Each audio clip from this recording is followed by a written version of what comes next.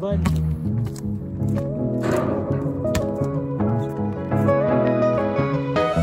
câu vân